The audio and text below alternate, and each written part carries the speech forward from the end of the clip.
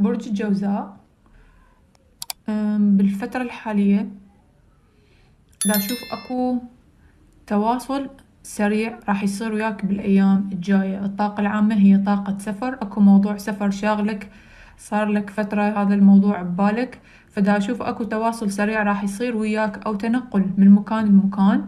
يخص موضوع سفر بالذات دا أشوف أكو عندك سفر بالأيام القادمة هذا السفر راح يكون مفاجئ إلك تواصل راح يصير وياك وراح يكون موضوع سفر إلك بالفترة اللي جاية.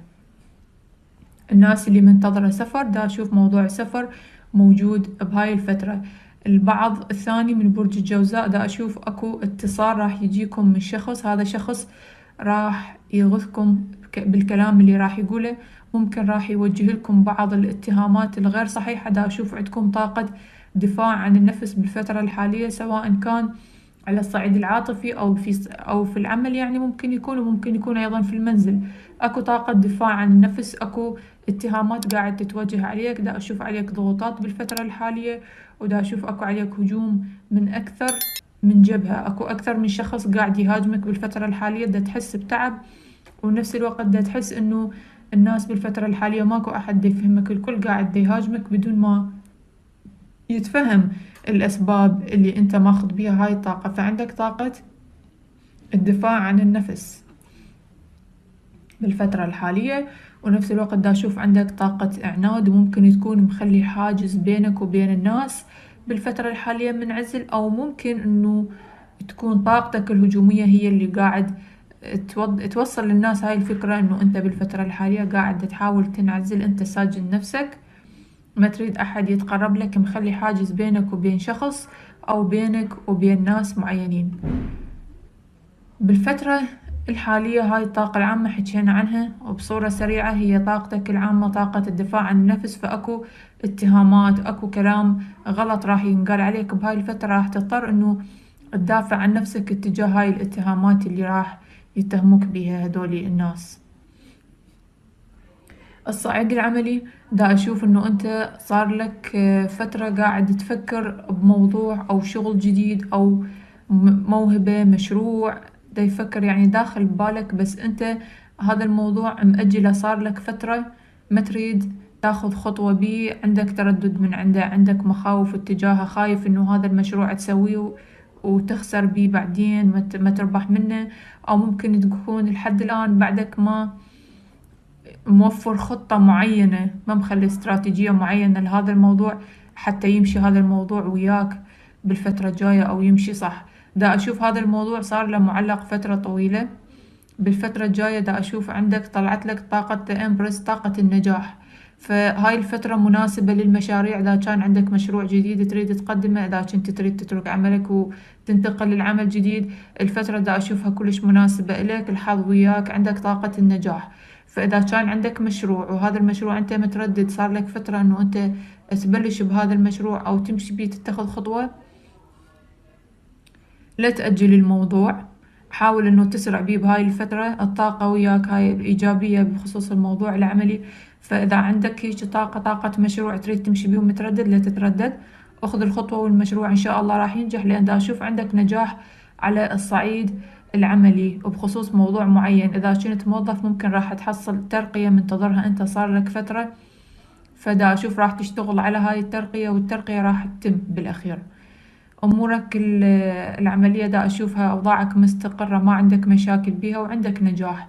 بخصوص المشاريع دا كنت ناوي تسوي مشروع معين. على الصعيد الصحي دا أشوف عندكم أكو فترة مريتوا بيها بأزمة صحية بس بالفترة الجاية دا أشوف أكو شفاء أكو استشفاء على الوضع الصحي ماكو أحلى من هيجي. من دا أشوف الأوضاع الصحية اللي موجودة عندكم من بعد فترة تعب و...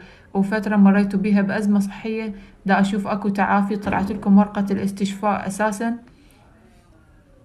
فأكو تف... أكو تعافي سواء كان لكم أو شخص أنتو شايلين هم صار لكم فترة ممكن يكون شخص من العائلة مر بأزمة صحية وأنتو بالكم كان يمه فدا أشوف إلا تعافي هذا الشخص بالفترة الجاية. أكو تعافي من بعد أنتو هواي جنتو شايلين همه ودا تفكرون بيه سواء كان الشخص أو حتى إذا كنتو أنتو لأن القراءة عام ماني ما أقدر أحددها.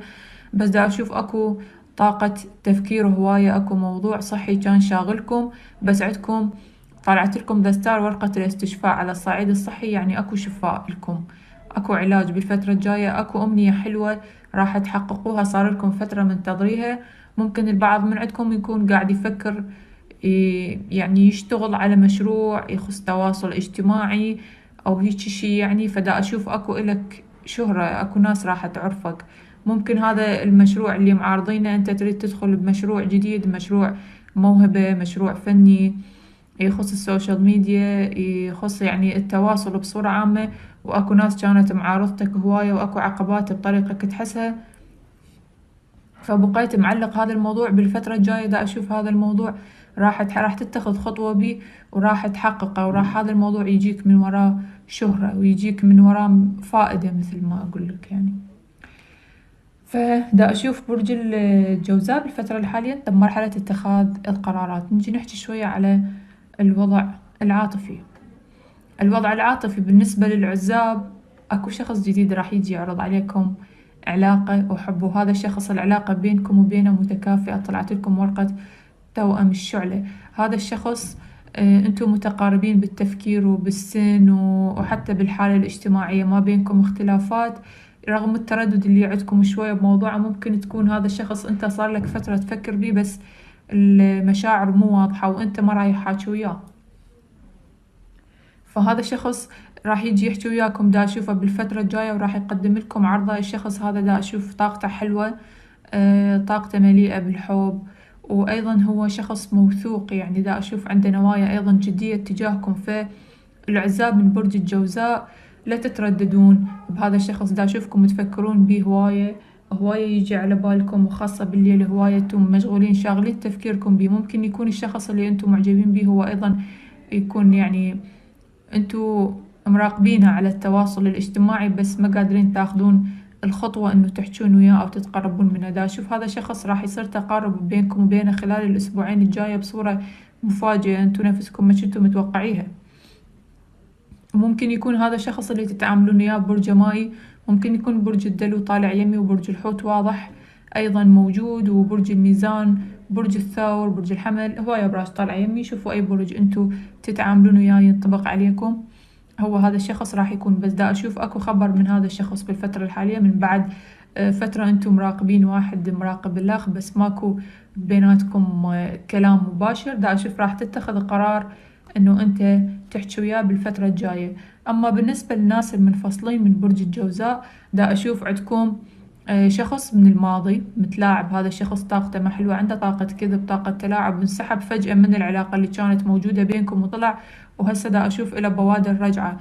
قاعد يحاول إنه يرجع يظهر بحياتكم من جديد بس هو هذا الشخص كاذب. أنا دا أشوف إنه أنتوا راح تتخذون قرار إنه تقطعون علاقتكم بيه وما تنطوه. فرصة ثانية بس راح تاخذون فترة شلون قلت يعني تاخذون حقكم من عنده تعوفونه حاير فترة ما بين الرجعة والمراجعة قبلتوا ما قبلتوا بس بكل الأحوال دا أشوف القرار السليم راح تتخذونه وراح تقطعون هذا الشخص نهائيا من حياتكم وما راح تنطوا مجال إنه يرجع مرة ثانية.